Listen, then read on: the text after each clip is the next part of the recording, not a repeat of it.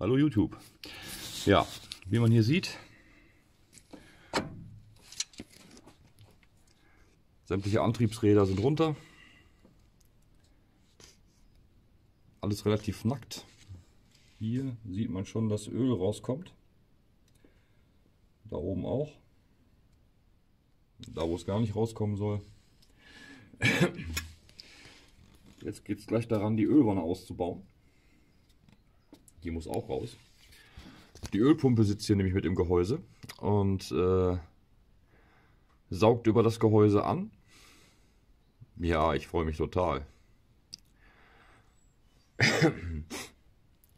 Das ist alles in allem eine unglaublich schöne Arbeit. Aber muss ja gemacht werden, hilft ja nichts. Obwohl ich echt kurz davor bin, den Motor zu wechseln.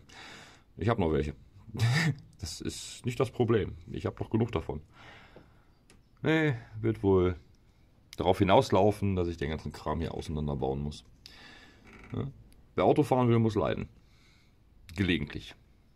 Hm? Er macht ja sonst auch keinen Zicken. Also von daher, die nötigen Reparaturen vorausgesetzt, ist er sehr, sehr, sehr zuverlässig und sehr, sehr, sehr treu. Also von daher hat er das verdient. Ja. Ich melde mich gleich aus dem Untergrund zurück. Gleich geht es nämlich unterm Auto weiter. Ja, sieht immer noch nicht anders aus. Ist jetzt ein bisschen Zeit vergangen. Wir haben da ein Problem. Auch wieder dank dieser Werkstatt. Zum Kotzen ist das. Und so ein paar andere Sachen sind auch noch rausgekommen. Ja, ja, hier liegt das große Besteck, ich weiß. Ja. Ich hätte jetzt die Ölwanne abnehmen müssen, was grundsätzlich kein Problem wäre.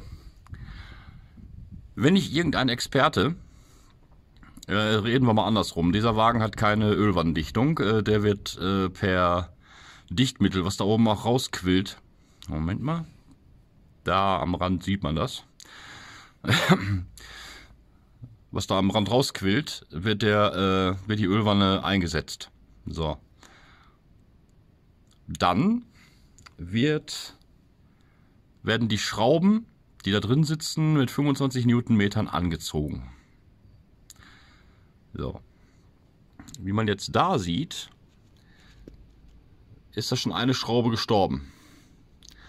Da hinten ist die nächste Schraube gestorben. Irgendwo da. So.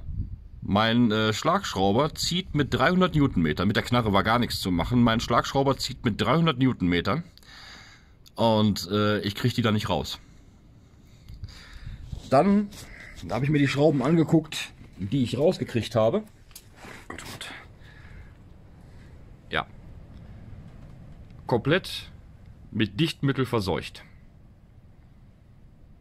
Hm? Wenn ich so eine Ölwanne einbaue, setze ich da die Schrauben rein. Hängen die ein bisschen fest mit Fett oder sowas in der Richtung, dass die da drin stehen bleiben. Dann kommt die Dichtmasse da dran. Schön um die Schrauben drumrum. Dann setze ich die Ölwanne leicht auf und drehe die Schrauben rein. Das sind Sacklöcher. Ja, hört sich witzig an, sind aber Sacklöcher. Das nennt man so. Und äh, wie man hier an dieser Schraube entdeckt, ja, über und über mit Dichtmittel. Äh, Sacklöcher. Ja, das Problem, Hydraulik, das äh, Prinzip ist euch ein Begriff, denke ich. Wenn ich einen Kolben irgendwo mit einer nicht komprimierbaren Flüssigkeit äh, zudrücke, muss die Kraft auf der anderen Seite irgendwo hin. Zu Deutsch, ich kann mir denken, warum das hier alles undicht ist. Entweder haben die den Block oder vorne das Steuergehäuse gesprengt. Beides ist nicht gut. Beides ist absolut überhaupt nicht gut. So, dann sind mir noch ein paar andere Sachen aufgefallen. Der Zahnriemen war hier dran fest. Also das war die Spannrolle. Welche allerdings, ne, so saß das da drin, welche allerdings gar nicht mehr benutzt wurde. Da gab es eine ähm, Erneuerung. Da gab es einige Zahnriemenrisse aufgrund dieser Rolle hier, weil diese Rolle hat eine Schulter. Ja. Die neue Version ist zweimal praktisch dieses Ding. Ohne Schulter. Und zwar ist das Problem gewesen, dass sich der Rand des Zahnriemens hier dran äh, aufgerieben hat. Und dann irgendwann der Zahnriemen gerissen ist.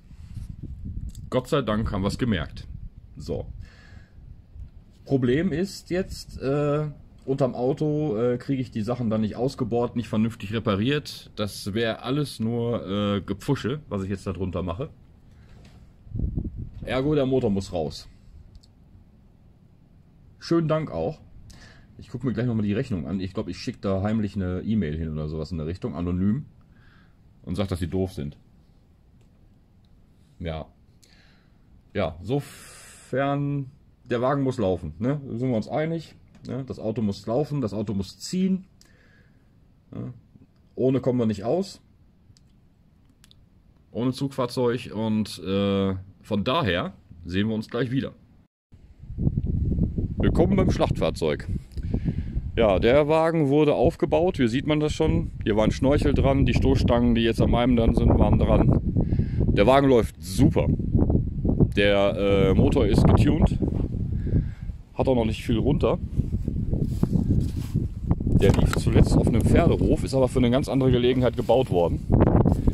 So, was haben wir denn hier? Echt, Ledersitz hat er auch. Schön.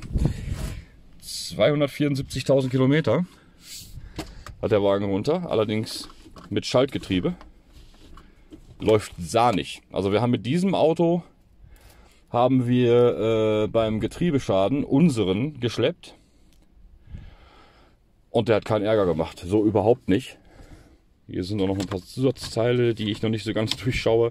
Wahrscheinlich Fernscheinwerfer oder sowas in der Richtung. Klimaanlage hatte der auch, hat der allerdings ausgebaut.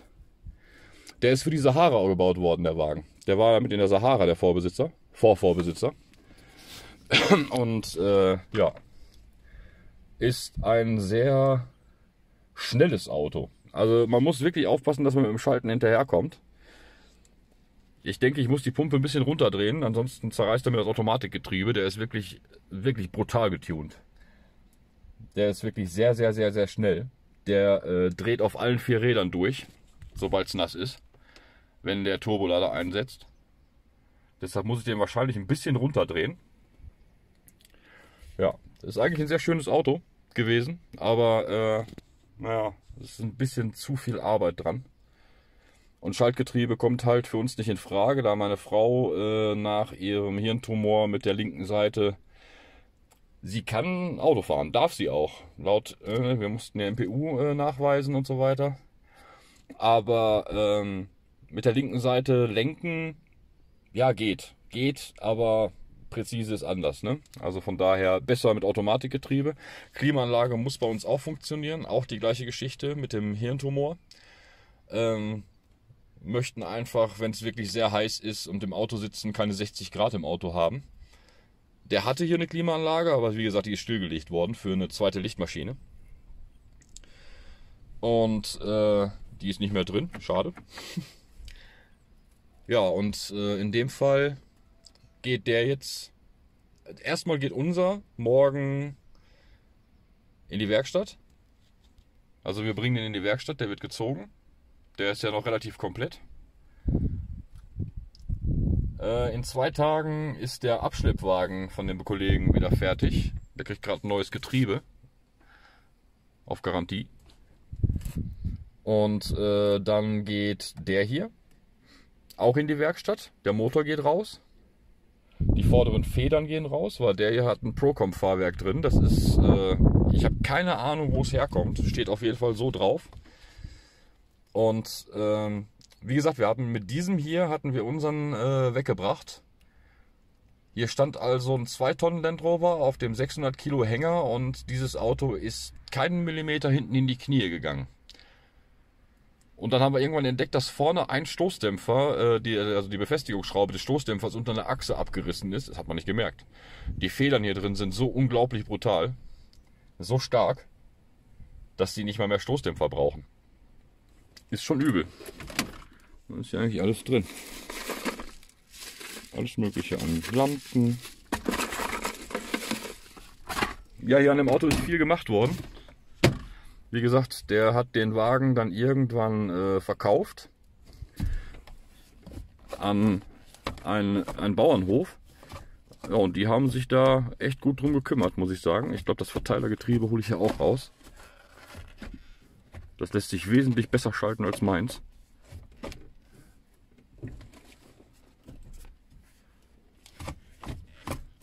Hammer. Kann, meins kann ich mit dem Hammer einlegen. Ja, Kupplung und sowas, alles in der Richtung, alles top bei dem Auto. Möchte, wenn also einer ein Getriebe braucht, passt auch ein Defender rein. Ein Schaltgetriebe braucht, das ist sahnig. Kein Kratzen vom ersten in den zweiten, das machen die ja gerne. ja, die Ledersitze werde ich wahrscheinlich auch bei uns einbauen. Gibt schönere, aber mein Gott, ne? unsere sind halt ziemlich durch. Da steht noch einer. Der Motor war allerdings äh, ziemlich fertig. Ja, der kommt vom Bauernhof. Der hat uns 200 Euro gekostet. Der fuhr auch äh, da an die Stelle, aber der hatte kaum Kompression und sprang schlecht an. Und deswegen haben wir lieber die anderen Anbauteile runtergenommen. Ja, hinten stehen noch zwei. Also äh, von den Dingern haben wir genug. Also insgesamt haben wir Moment mal 1, 2, 3, 4, 5, 6 Stück insgesamt. 6 äh, Discovery. Defender würde mir im Leben nicht einfallen, so ein Ding zu kaufen. Äh, den Namen äh, bezahle ich nicht. Ne? Das ist die gleiche Technik für ein Zehntel des Preises. Und äh, Schlachtfahrzeuge gibt es wie gesagt 200 Euro. Gut, für den hier habe ich 1500 bezahlt. Geschuldet dem Motor, dem technischen Zustand. Wahnsinn. Wirklich Wahnsinn. Das ist, äh, der fährt unglaublich gut. Allrad unglaublich gut. Achsen. Und dann, wie gesagt, die ganzen Zubehörteile, die hier dran sind. Ich äh, freue mich ehrlich gesagt schon so ein bisschen auf den Motor. Wie gesagt, ich muss den runterdrehen, auf jeden Fall. Sonst reißt er mir das Automatikgetriebe kaputt. Das ist gebaut bis 400 Newtonmeter. Und der Kollege hier hat wesentlich mehr Leistung. Da ist ein anderer Turbo drin. Ein sogenannter Hybrid-Turbo, wenn ich mich nicht irre. Das, was ich bis jetzt sehen konnte. Die Einspritzpumpe ist anders eingestellt.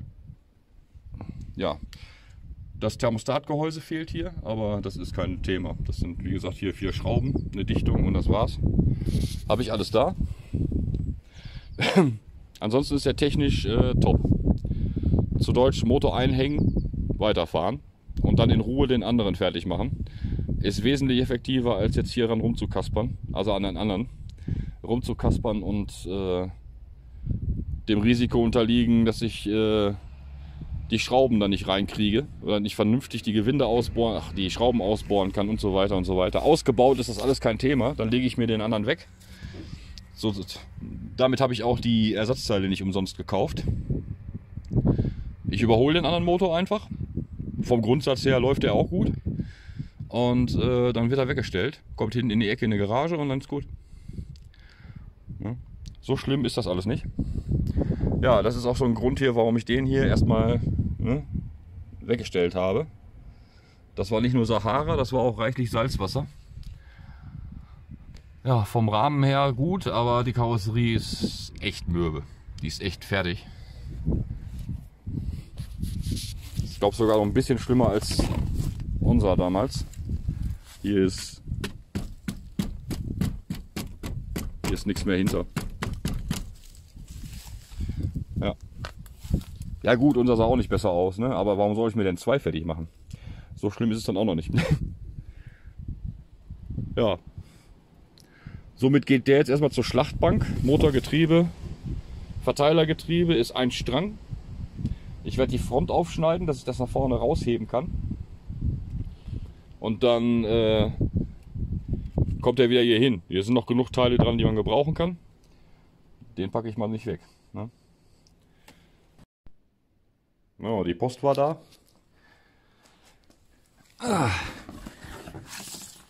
Ja, jetzt kommt die Steuergehäusedichtung. Gut. Gut, sie da zu haben. Ja. Auch hier die ganzen äh, Wellendichtringe und so weiter. Ja. Gut, das alles da zu haben. kann ich mich ganz in Ruhe, wenn der Motor ausgebaut ist, äh, dran machen und das reparieren. Ja. Übrigens, äh, Daiko ist der Erstausrüster in Bezug auf den Zahnriemen. Da waren ein paar Fragen in den Kommentaren. Daiko ist der Erstausrüster. Äh, die lief, beliefern äh, Land Rover oder haben die damals beliefert. Und der Riemen ist also Erstausrüsterqualität, so wie er auch neu eingebaut wurde. Ne? Ja, also den Motor überhole ich, wenn ich äh, den draußen habe. Ja. Gute Nachrichten. Ein Zahnriemenkit für den Astra.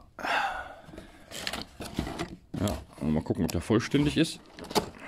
Gerade angekommen. So. Mal schütten. Niemand mehr drin. Ja, Zahnriemen. Spannrolle. Sowas von schön. Der Aufkleber. Ja. Und weil ich das immer mache. Ja, das ist einfach so. Wer es schon mal selbst erlebt hat, ich hatte mal einen Polo 86C, Zahnriemen gemacht, quasi gefühlte fünf Minuten später Wasserpumpe im Eimer. Ja, von daher, ja. Auch schick. So, der Kühler ist schon mal raus. Und wie man sieht, wenn man unter Wasser fährt, sammelt man Zeug ein. Ja, das muss offensichtlich gereinigt werden.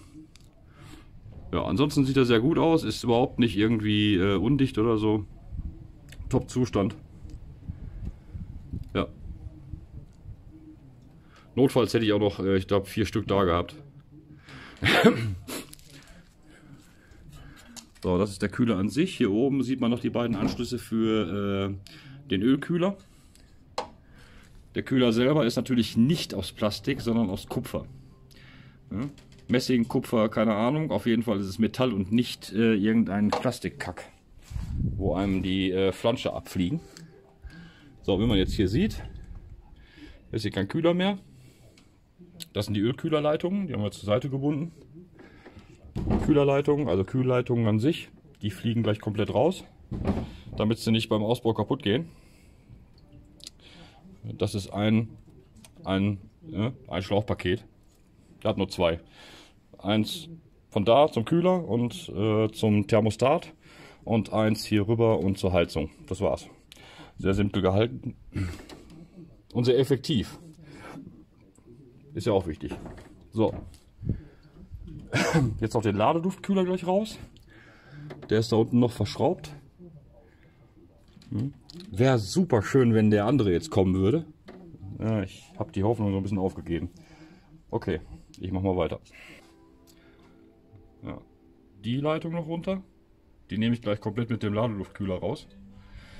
Und dann äh, müsste, der Motor wird immer freier, sagen wir mal so rum. Ne? Ja, okay. Wir sehen uns später. So, nächstes Update.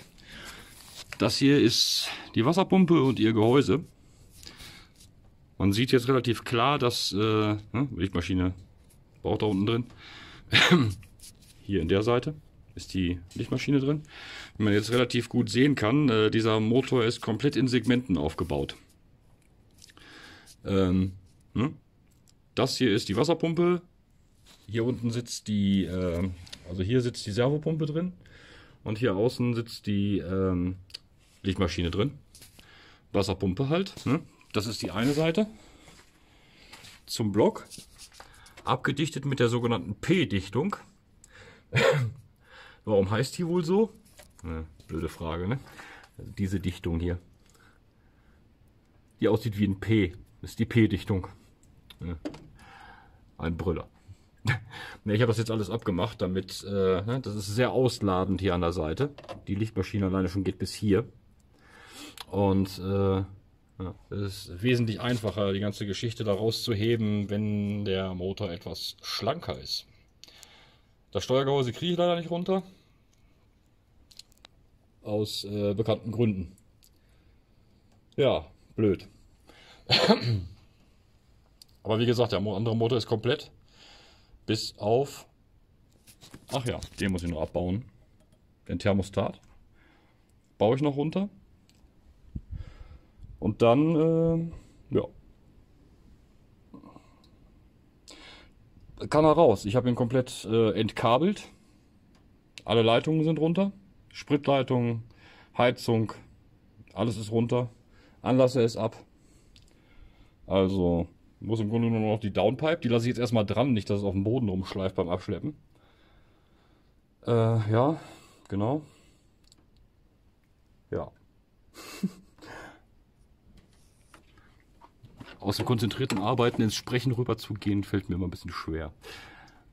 Ja. Ja, und wenn der, äh, das Steuergehäuse äh, weg ist, kann ich mir den Motor schön auf einen Motorständer setzen und da in Ruhe weiterarbeiten. Ja, also der ist, ne, Kopfdichtung ist gemacht letztes Jahr und so weiter und so weiter und so weiter. Ähm, den Motor lasse ich garantiert nicht, äh, den werfe ich garantiert nicht weg. Nein, nein. Es geht jetzt nur darum, so schnell wie möglich wieder äh, mobil zu werden. Die Leute mit dem T3 äh, müssen jetzt den T3 auch selbst holen. Die holen sich unseren Hänger mit einem T4. Sollte das knapp klappen. Zwei Tonnen darf der, glaube ich, ziehen. Ja. Ja, schicke Sache. Sowas. Das ist übrigens hier das Lenkgetriebe. Hier oben ist die Einstellung. Das, wenn, wenn äh, so ein Land Rover, irgendwann kriegt er Lenkspiel, wenn man größere, größere Reifen fährt. Dann wird diese Mutter gelöst, die Schraube ein bisschen reingedreht, muss man ausprobieren. Es gibt da keinen großartigen, ähm, na, keine großartige Referenz, was man wie machen muss. Die hier lösen, das hier oben. Dann ein Stückchen fahren und lenken. Wenn das Lenkrad sich stockig anfühlt, also es bleibt quasi im eingeschlagenen Zustand, war das, war das zu viel. Dann wieder ein bisschen lösen. Richtig ist, ich glaube, ein Fingerbreit bis anderthalb bis zwei Fingerbreit Spiel ist noch okay. Drunter bleibt die Lenkung, äh, also äh, äh, bleibt die Lenkung stehen. Ganz blöde Idee. Drüber habt ihr einen Ozeandampfer. Auch nicht gut, macht keinen Spaß. So. Und hier sieht man ein gutes Beispiel daran, warum man immer den Kühlerfrostschutz wechseln sollte. Auch ihr habt in euren Motoren Bauteile, die drin stecken, wie zum Beispiel hier solche Schrauben oder sowas in der Richtung. Das gammelt weg. Auch eure Zylinderkopfdichtung gammelt durch. Hatte dieser Motor, der stand ja zwei Jahre. Ein Jahr stand er bei der Vorbesitzerin, ein, ein Jahr stand er hier, bis ich mich motiviert habe, das Ding durchzuschweißen. Dauerte halt ein bisschen. Aufgrund äh, der massiven Schäden, da Motivation aufzubauen. Und äh, das war nicht mehr gut, das Zeug, was da drin war. Und äh, siehe da, quasi sofort, als das Ding angemeldet war, Kopfdichtung durch. Natürlich auch gleich mit Überhitzung und Kopfwechseln beziehungsweise planen lassen und so weiter und so weiter. Deswegen äh, die Suppe lieber mal wechseln lassen. Sonst dümpelt nämlich irgendwann so eine richtig üble Suppe da drin rum. Ich habe jetzt ein paar Mal gespült und gewechselt. Jetzt kommt hier kein Rost mehr raus. Aber natürlich sind da immer noch rostige Schrauben drin. Ne? Die stecken halt auch in diesem Gehäuse. Wasserpumpengehäuse. Ne? Wird halt durchgeschraubt und wenn dann ein bisschen Wasser rauskommt, rosten Schrauben. Das ist halt blöderweise so. Und diese P-Dichtung ist eh äh, berüchtigt. Naja, auch die muss man regelmäßig immer neu machen. Die werde ich äh, aber im Zuge des Aufbaus dieses Motors werde ich die jetzt nochmal kaufen. Kostet 1,50 Euro oder so. 1,50 Euro oder 1,54 Euro kostet die P-Dichtung. Ja. Mit ein bisschen Dichtmittel und dann geht das. Ja, den Thermostat nehme ich jetzt noch runter. Nicht, dass der morgen irgendwo aneckt, wenn wir den Motor da rausheben. Wenn das morgen klappt. Gehe ich aber mal von aus. Thermostat noch runter, genau. Und dann äh, der kommt eh in den anderen Motor, richtig? Okay. Das mache ich noch eben schnell. Mein Kater jagt jemanden. Ah, ja, meine Frau. Und er quatscht. Ja, okay, bis gleich. So, wieder im Schlachtfahrzeug. Hier sieht man auch die Schalthebelanbindung. Beim Defender ist ein etwas längerer Schalthebel drin. Ja, der wird hier getrennt. Und je nachdem, wo der eingesetzt wird, ist er halt kürzer, länger, wird hier angesetzt. Dann haben wir hier vorne den äh, Wählhebel für das Zwischengetriebe mit der äh, Sperre. Steht auch hier vorne alles. Praktischerweise. Ja. ja. Zwei Ebenen. Ja. High, Low. Und jeweils in Difflog auch nochmal High, Low. genau.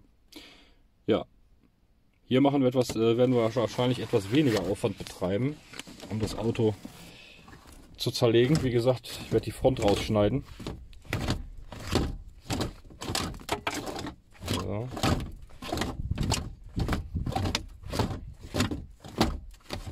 Die Getriebetraverse unten drunter ab und äh, die Kardanwellen. Ich habe das Gefühl, dass hier ein Verteilergetriebe vom Defender drin ist. Äh, der hatte ja vorher die Reifen drauf, die wir jetzt drauf haben. Und äh, hatte unglaubliche Kraft. Normalerweise sagt man mit so großen Rädern, da ist beim Discovery äh, meistens Schluss. Die Verteilergetriebe sind anders übersetzt. Der Defender hat ja serienmäßig 235 äh, 80 16 drauf. Und äh, der Discovery hat 235 70 16 drauf. Und diese Übersetzungsproblematik macht den äh, Discovery meistens etwas langsamer. Der hier allerdings, wie gesagt, ging höllisch vorwärts. Und äh, ja, ich denke, der hat ein Verteilergetriebe vom äh, Defender drin, um das zu kompensieren. ja, dann, äh, tja, werde ich das Verteilergetriebe wahrscheinlich direkt mit umbauen. Weil wie gesagt, unseres ist äh, unglaublich zäh zum Schalten. Da gibt es so eine Schaltschiebemuffel, die ja, ist eine lange Geschichte. Die muss man auf jeden Fall mal erneuern. Das äh, Fett verharzt irgendwann und dann geht die ganze Umlenkung nicht mehr. Oder nur noch schwierig. Okay. Ich werde das Video, denke ich mal, fertig machen. Wenn ihr das seht, wird aus meinem schon der Motor draußen sein. Und äh, ja. Das wird also morgen hochgeladen. Ich hoffe, dass morgen der Motor schon draußen ist. Gehe ich aber mal von aus. Und äh, übermorgen wird der hier abgeholt. Den können wir nicht über die Straße ziehen. Da ist nicht mehr viel mit Federung weil ich die Feder ausgebaut habe und die Stoßdämpfer. Ja, vorne die Federung äh, müssen wir auch in unseren reinbauen. Sind äh, Federn für äh, erhöhte, erhöhtes Gewicht. Haben wir gemerkt, der ist nicht in die Knie gegangen, trotz Discovery und Hänger hinten dran. Das ist äh, unglaublich. Procom-Federn. Unglaublich stabile Teile. Ne, das kommt auch hier rein, äh, bei uns rein. Und äh, dann kommt er wieder hier hin. Ne? Also nur weil jetzt Motorgetriebe und so ein Kram draußen ist, äh, schmeiße ich das Auto nicht weg. Hier sind noch unendlich viele Ersatzteile drin. Alleine der Airbag. Ne? Da ist er schon. Der ist schon das erste Ersatzteil.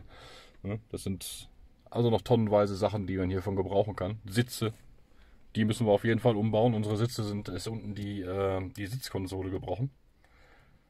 Ja. So ist das. Ja. Dann wollen wir mal gucken, dass wir morgen den blauen, den ganzen Kram schon mal ausbauen. Den Motor. Und dann kommt der hier rein. Wie gesagt, die Klimaanlage ist gekappt bei dem. Ah, da haben sie es abgeschnitten. Gibt bestimmt eine elegantere Lösung für so eine Aktion, aber naja. Muss jeder selber wissen. Dann wird der Motor nochmal richtig schön sauber gemacht. Ich werde das erste Mal Sodastrahlen ausprobieren. Das ist nicht nur Soda, Sodiumcarbonat, irgendwie sowas. So heißt das Zeug. Soll für Aluminium quasi eine äh, Frischzellenkur allererster Kajüte sein. Okay, ich wünsche euch schon mal was. Bis zum nächsten Video. Bis dann, ciao.